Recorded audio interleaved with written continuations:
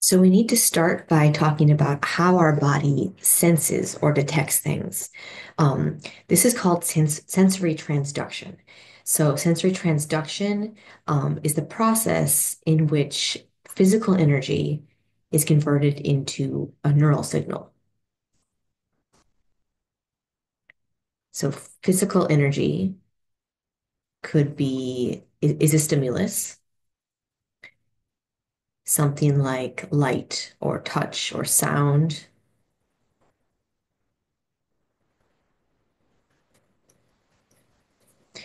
And why a neural signal? Well, that's something that can be detected and, and um, processed by our body.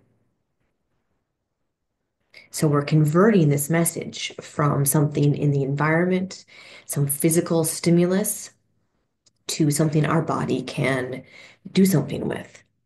Um, another way of saying this is this is going to be taking a stimulus and resulting in a change in membrane potential.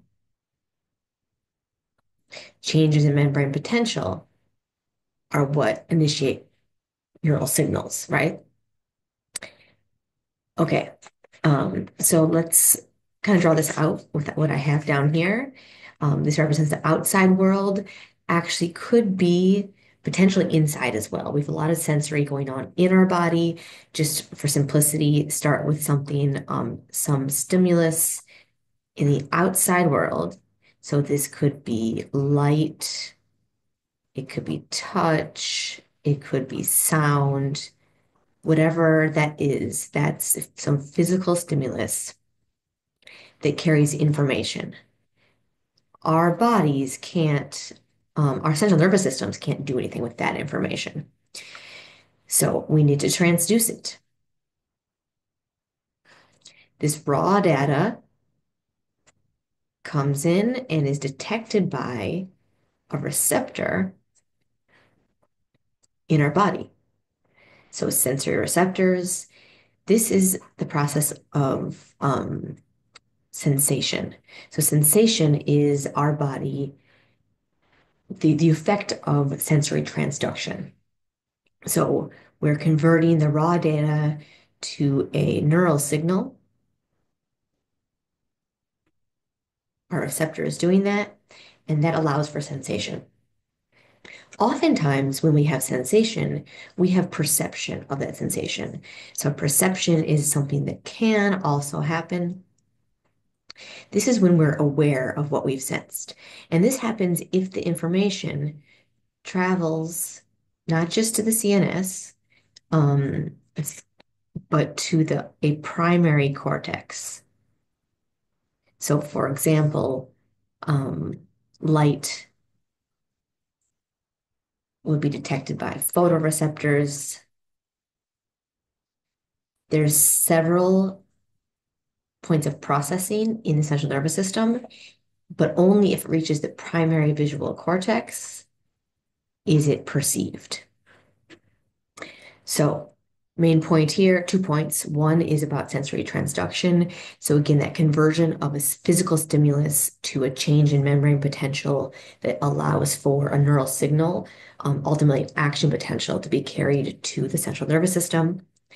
And then the other idea being um, for perception to occur, that the information must travel to a primary cortex in the cerebral cortex of the cerebrum. Okay. So I'm going to just kind of diagram what the sensory cell might be doing. Um, there's different types of sensory cells. We'll go into that. But here, here is one that connects all the way, right, from um, sensory endings, we'll call them for now, to the central nervous system is where we're going to contact here, right? So what happens is we have a stimulus receptors are going to detect that and typically open ion channels. either directly or indirectly, as we've seen before. So that's what's going to cause ion channels will open, might have an ion flow in. Now we have a change in membrane potential. We've gone from resting membrane potential to a change in membrane potential.